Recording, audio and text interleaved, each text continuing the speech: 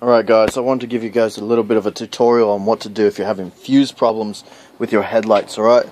This is uh, my 2001 Yamaha R1000 Super Sport, Super Bike, whatever you want to call it. Um, what I did is I converted to HID headlights, okay? And when I did, it worked perfectly, okay? Yeah, I turned them on. It's not a big deal.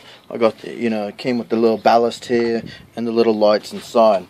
Now when I turned them on, it was no big deal, but when I turned it on with the engine running, it had more voltage, and since the um, since these lights draw so much amperage right when you turn them on for the first time, when the engine was running, it would blow the fuse every time when I turn the headlights on. Oh, by the way, also, since they don't have high beams and low beams, I actually hardwired it into just the high beam. So when the low beams are on, the headlights are off. When I turn the high beams on, then the headlights come on. So I wanted that because it's just a little little bit of an advantage in, in, case you're going into a quiet place or something like that or whatever. You don't want to shine lights on somebody. You can turn the headlights off. It's not so. I just thought that would be a nice nice little touch to it.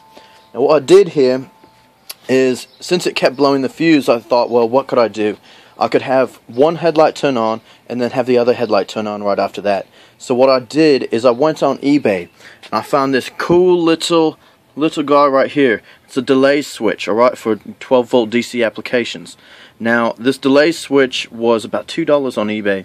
Now, this, um, it's not powerful enough to, uh, to power the lights themselves, so I had to also get an automotive relay 12 volts DC also.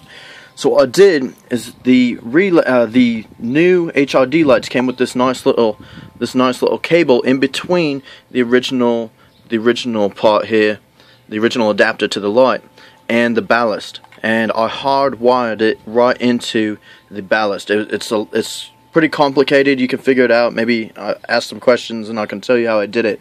But that's what I did. So now when I turn the headlights on regardless of whether the motorbike's on or not um, one headlight turns on instantly. I'll turn the lights on right now. One headlight turns on instantly and then the next one turns on right after that. You see how it came on with that with that intense light right there. That's that high amperage. Now it's got a 20 amp um, it's got a 20 amp fuse which blew every time when the engine was running and I'd turn those lights on. So now it's still got a 20 amp fuse in there and it's been perfect for me. You can see I'm doing a lot of other improvements to this, but this, the headlight thing is my biggest accomplishment so far. It took a lot of brain power and whatnot, and I'll show you once more. This is also adjustable so you can adjust the delay on this on this little guy right here. It's got a couple LED lights indicating when it's on and when it's off. And you can see this little um, brass screw right here. Turn it counterclockwise to decrease the, the amount of delay. Turn it clockwise to increase the amount of delay. And you got to turn it quite a bit. But that's what I did for this bike.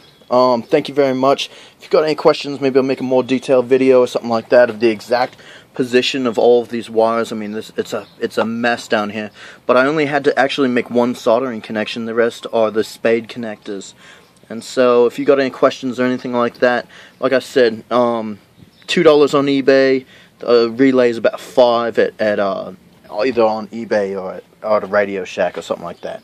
Alright guys, so that's how you deal with fuse problems on your HID system if you have two headlights. Alright, thanks very much.